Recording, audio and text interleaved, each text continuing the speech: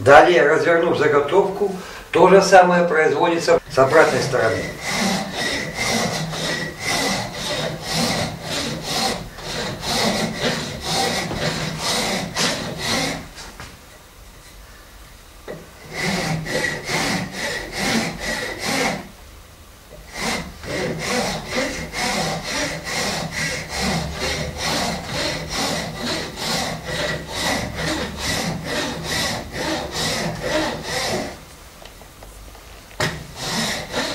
Придания большей частоты в конце работы используется мелкая наждачка на бруске.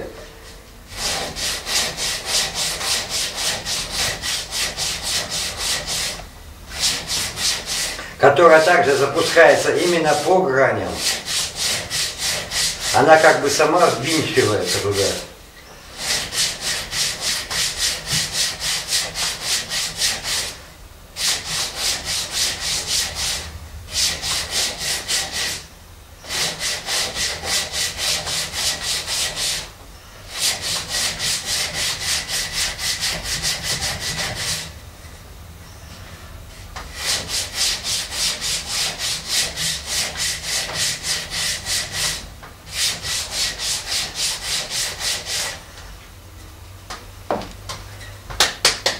Итак, как мы видим, у нас получился нормальный винт. Он свободно вращается, проходя по руке. Почему мы прорезаем острый винт с острыми углами? На нем проще учиться резать. Когда вы освоите данную прорезку, вы свободно сможете изменить форму грани винта. Четырехгранник – в данном случае у нас размечен был на четырехзаходную винт, то есть четыре грани захода у винта, то есть сколько граней имеет сам по себе четырехгранник. На нем также удобно размечать однозаходный винт, двухзаходный, четырехзаходный и можно размечать восьмизаходные винты. В этом отношении круглая заготовка лучше, чем то, что на ней можно размечать винты с любым количеством заходов. От одного и до бесконечности. Здесь уже разницы нет, так как нет у нас граней. Но так как нет у нас граней, у нас есть проблема с разметкой. Для того, чтобы нам было проще, мы вместо граней проведем линии. На данной круглой заготовке мы будем прорезать трехзаходный винт. Для чего? Мы берем обыкновенную фотопленку, а, Замеряем диаметр заготовки пленкой.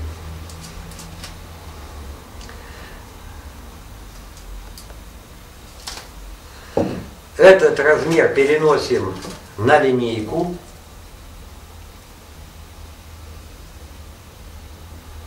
У нас получилось 13 сантиметров. И делим эти 13 сантиметров на 3 захода. То есть у нас получается, мы должны отложить по 4 и 3 десятых сантиметра. Отмечаем это на пленке.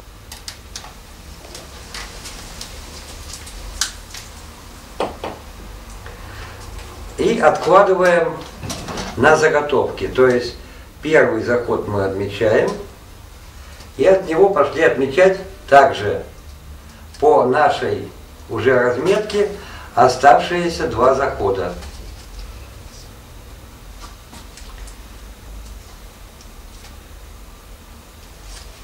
Проверяем последний. Все правильно.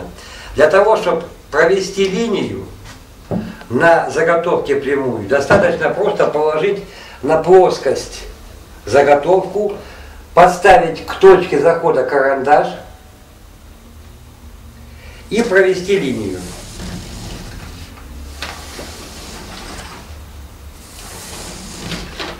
У вас получилась линия захода, проведенная на всю длину. Таким образом отводятся все линии.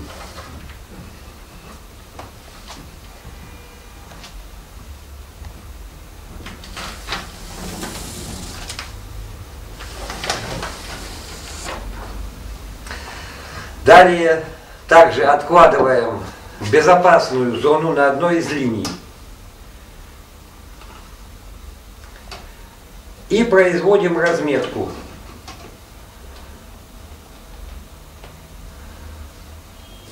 Также по 4 сантиметра.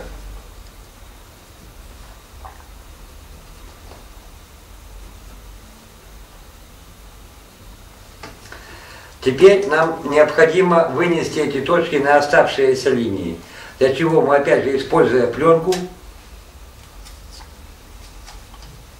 оборачиваем ее вокруг нашей заготовки и отводим по пленке линию.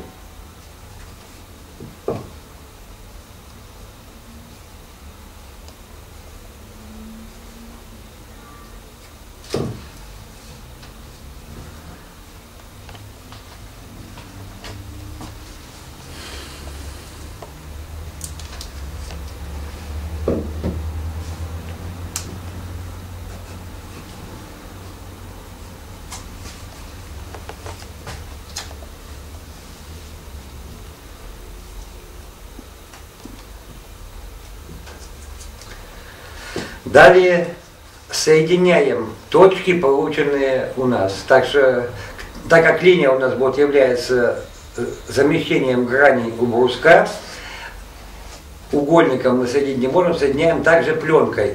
С угла в угол выставляем пленку и отводим линию.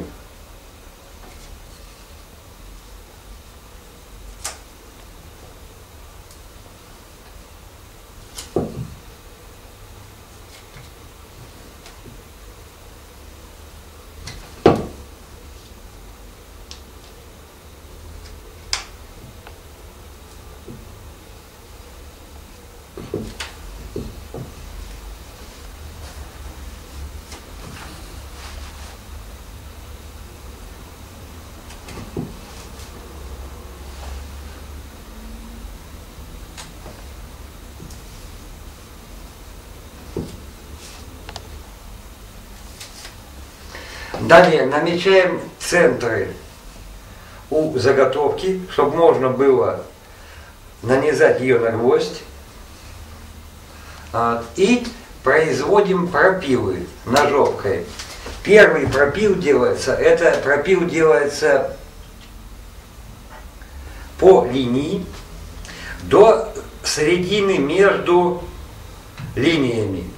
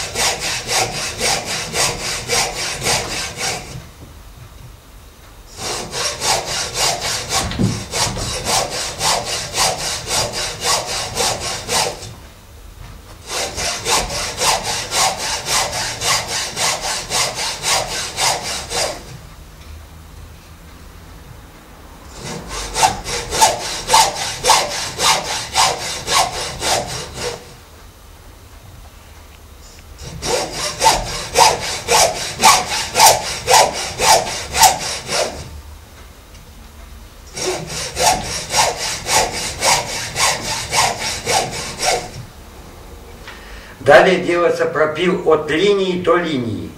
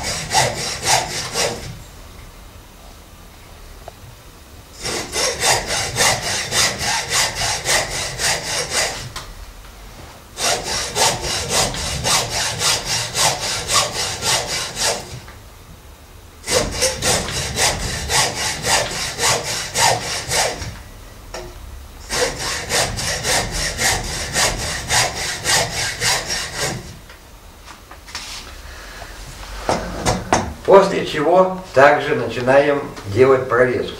Разница в чем? Нам не надо снимать грани. У нас заготовка уже круглая. Но вот эти линии, обозначающие грань, с них мы начинаем прорезку. Если, прорез... Если прорезать с острым углом, значит нам нужно начинать прорезку также с середины.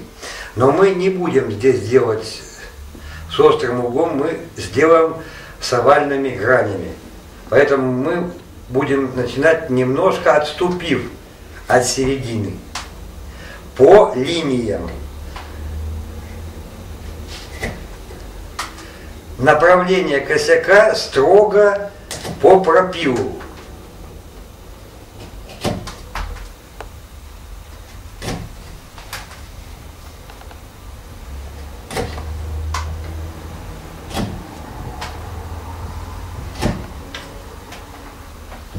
То же самое производится, развернув заготовку.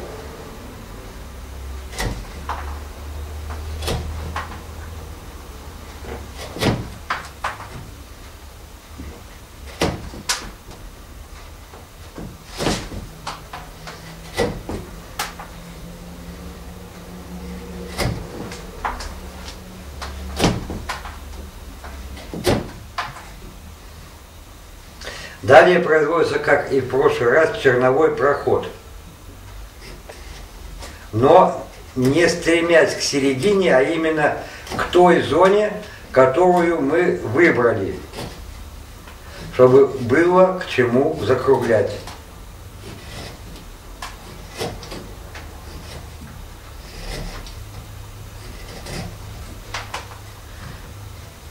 Таким образом проходим все три грани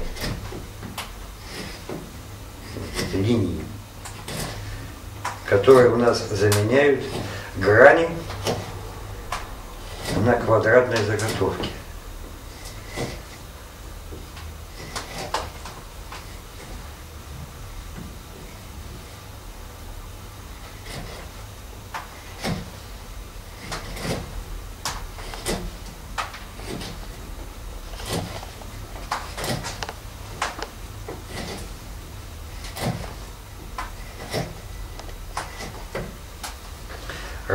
Разворачиваем заготовку и производим то же самое с другой стороны.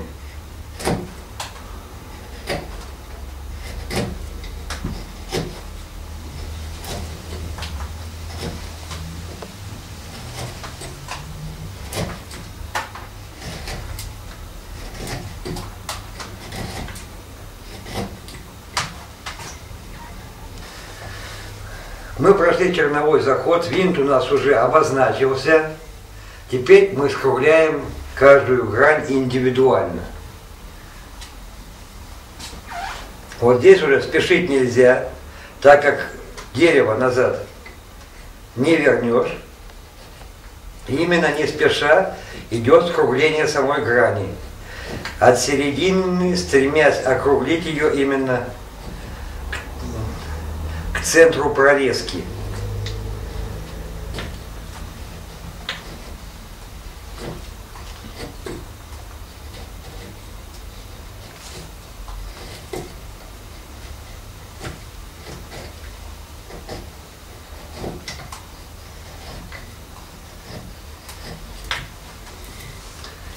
Разворачиваем заготовку и то же самое делаем в обратную нам направлении с этой же гранью. И таким образом проходим все три грани, так как у нас здесь трехзаходный винт.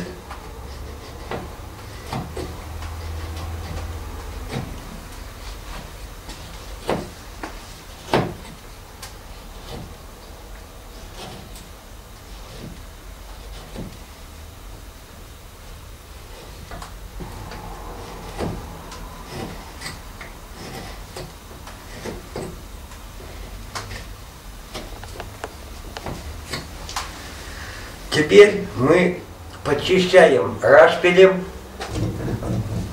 самую глубокую часть нашего винта. Потому что овал рашпиль не возьмет никогда, а вот самую глубокую часть он может сравнять, также слегка проворачивая брусок, как бы ввинчивая по ходу рашпиль, он у нас подчищает